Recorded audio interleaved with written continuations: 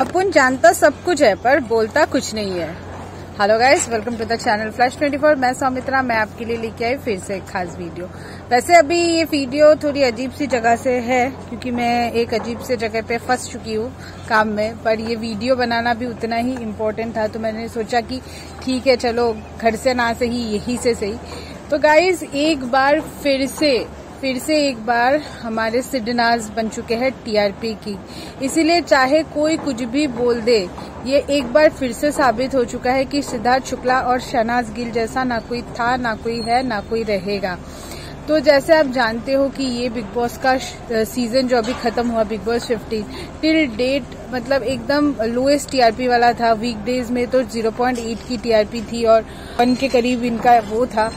के वार का सलमान खान होते हुए था। पर गाइस इसकी highest highest TRP rated episode वो कौन सा था आपको पता है? हाईएस्ट टीआरपी 1.9 की टीआरपी वो था ग्रैंड फिनाले का एपिसोड जी हाँ गाइस जब से ग्रैंड फिनाले का ये प्रोमो आया था ना कि शनाज कौर गिल आ रही है, सिद्धार्थ शुक्ला को अपना ट्रिब्यूट देने, तब से ही इस ग्रैंड फिनाले का एक हाइप बहुत ऊपर चला गया था।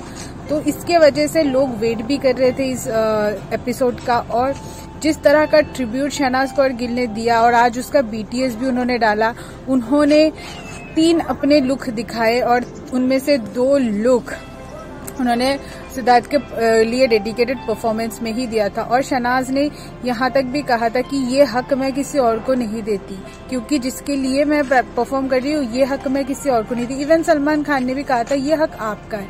सो सो so गाइज़ इससे तो इतना क्लियर है कि सिड नाम का नाम जहाँ पे आ जाए, वहाँ पे टीआरपी ऊपर जानी ही है। सो so इस बार इस बार फिर से प्रूफ हो गया कि सिडनाज है बिग बॉस की असली किंग और क्वीन लाख लोग आ जाए, इनके रिकॉर्ड को तोड़ना इम्पॉसिबल है।